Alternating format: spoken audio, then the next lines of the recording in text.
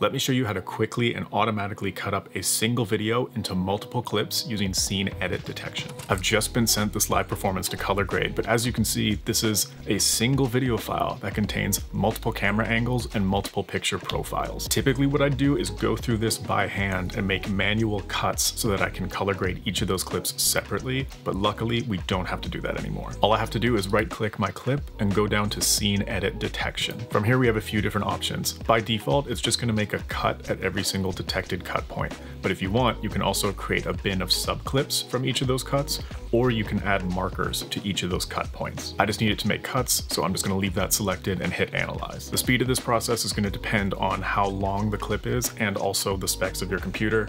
This is probably gonna take about 20 to 30 seconds for a four and a half minute clip. Now you can see it's placed an edit point at every single angle or scene change in our entire clip for us. Now I can just organize these clips by camera angle onto different tracks and start my color grading process. This is also excellent for converting horizontal video to vertical video because we often have to go through, make a bunch of different cuts, and then reframe everything scene by scene.